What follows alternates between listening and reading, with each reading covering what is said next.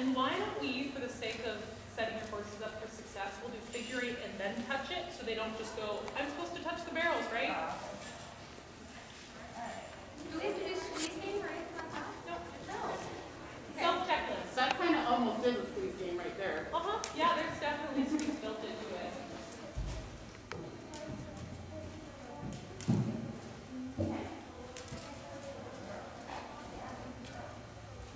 I don't know if she'll do this. She gets really mad about it.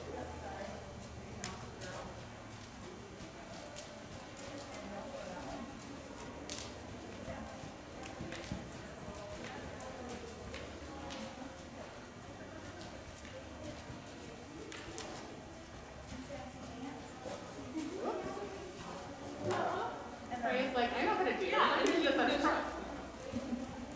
Feel free to stop in between if you need to, but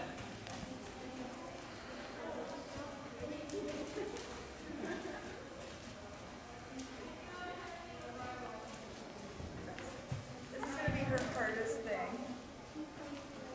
Raya's always like, you touch it. Why should I touch it? use your front hand and kind of use your, um, Okay, babe, you're your right hand to send her a little bit. So right hand center? Uh, left hand send, uh, right hand driving is what I should say. Get her to move her feet and then soften. Good, and soften. And she's asking questions, but that's good.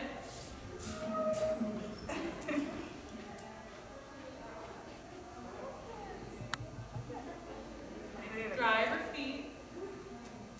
Just gotta move her feet and soften. And again, I'm just gonna kind of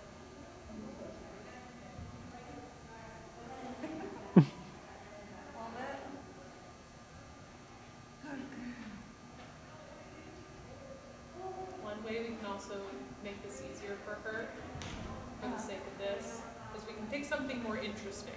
Doesn't it? Pick The up the the cone? post Doesn't make are it- often. You can just pick up the cone, that would make it easier. And then it always helped me to send from further away. Okay. Uh, I think getting something else is a good idea too, because when I did that, figure eight, and then brought George over to touch the cone, he thought I wanted to circle around the cone, like as Oh. a continuation of the figure eight. Because, you know, if he gets it right, he just wants to keep